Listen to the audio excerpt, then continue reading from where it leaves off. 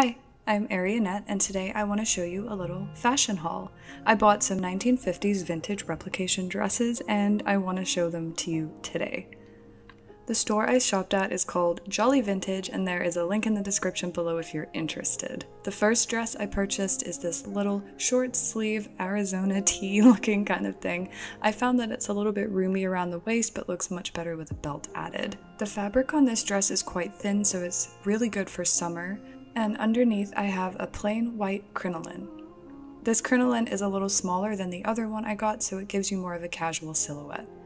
Next up, I have another dress with short sleeves, and this one's also quite thin fabric. I really love this print. It's like hard to figure out exactly what it is, so I'm just gonna call it eclectic. The more you look at it, the more you see in it, but it totally reminded me of this patchwork trend that's kind of big this season. I've always had a soft spot for the 1950s, especially the style of dress that everyone used to wear. I love how feminine and modest they are.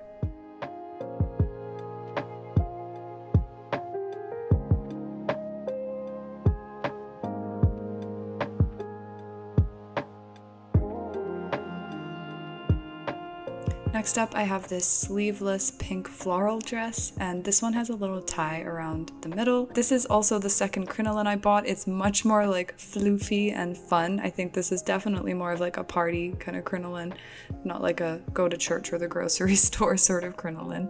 This dress has pockets, which is super, super nice. I think a lot of kind of 1950s replication dresses have pockets, but I'm not sure because these are the first four that I've ever bought, and I really hope I can find somewhere to wear them really soon. All of these dresses have been incredibly comfortable to wear. They fit quite nice, they're not too tight, and because they have this tie at the middle, you can totally make them tighter. It took me a little while to figure out how to get the crinoline right. As you can see, it's not quite right in most of these clips, but I'm learning, so please be patient with me, and if you have any advice, let me know in a comment. Oh, those little white straps at the back are part of my bra that I'm wearing. They're not part of this dress. This is super 50s and cute. I kind of wish it was a halter, and maybe I'll alter it one day, but I don't know. It's kind of roomy around the bust, so maybe a different bra would be much better, but I really love how full this skirt is. And again, this one pockets.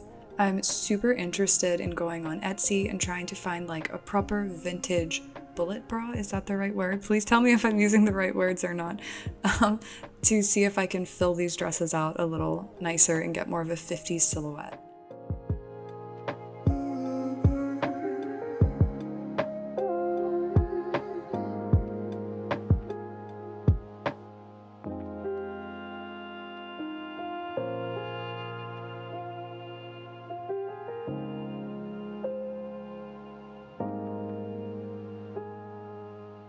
Uh, yeah, that's everything I bought. I know this was a really short haul today, but thank you so much for clicking on me today. There are so many things here on YouTube that you could have clicked on, but you chose me, and that makes me super happy. I'll see you real soon.